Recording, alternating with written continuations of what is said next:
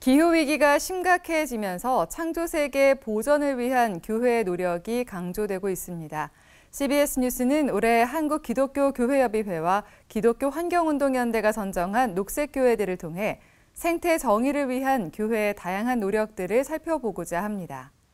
먼저 도시농업활동에 앞장서고 있는 독립문교회를 찾아가 봅니다.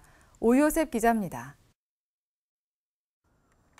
서울 종로구 행촌동에 위치한 독립문교회. 교회 인근 인왕산 성곽길을 따라 걷다 보면 곳곳에서 마을 텃밭을 만나볼 수 있습니다. 상추와 방울토마토, 고추 등 다양한 작물들이 따스한 햇살 아래 무럭무럭 자라고 있습니다. 참당귀와 질경이 등 약초를 재배하는 공간이 마련되어 있는가 하면 다양한 묘종을 기르는 전문적인 육묘장도 운영되고 있습니다. 또 양봉장과 옥상 텃밭 등 도시에선 쉽게 볼 수 없는 여러 가지 녹색 활동들이 펼쳐지고 있습니다. 독립문교회 교인들이 활발히 참여하고 있는 종로구 도시농업지원센터 활동들입니다. 교인들이 생명이 얼마나 소중하고 이 생명을 통해서 우리가 어떻게 생동감 있는 이런 삶을 살아갈 수 있는지를 이제 몸으로 알아요, 몸으로. 그래서 뭐 큰 걸 얘기하지 않아도 뭐 상추 하나를 주일날 쌈 싸 먹으면서 느끼고 또 한 바퀴 이렇게 산책을 하면서 보면서 느끼고 이 생명의 소중함, 그걸 기르는 도시 농부의 이런 마음들 이것들이 자연스럽게 교회 안에 다 이렇게 싹트고 있다는 생각이 들고요. 마을 목회를 지향하는 독립문교회는 지난 2015년 도시 재생 사업으로 도시 농업 활동이 진행되면서 본격적으로 생태 정의 운동에 앞장서게 됐습니다. 출석 교인 2, 30명의 작은 교회지만 교인들이 직접 양봉장 총무와 실무 간사 등을 맡으면서 도시 농업 활동을 주도했습니다. 또 지역 초등학생을 대상으로 생태 인식 교육을 펼치고 주민들을 대상으로 도시농업 탐방, 아나바다 장터 등을 진행하며 지역 사회를 섬겨오고 있습니다. 저는 동네 장로예요.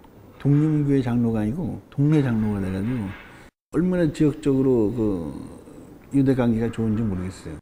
교회가 이런 좋은 일을 하고 한다는 것을 중시적인 역할을 한다는 걸 다 주민들이 또 알고 거기에 보람도 있고 그 주민들이 일자리 창출에 저희가 또 녹색 성장을 하면서 독립문교회 김성희 목사는 지역 사회 안에서 펼쳐지는 다양한 녹색 활동에 주민들의 관심과 호응도 매우 크다며 교회가 지역 사회에 녹아드는 계기가 될 수 있었다고 말했습니다.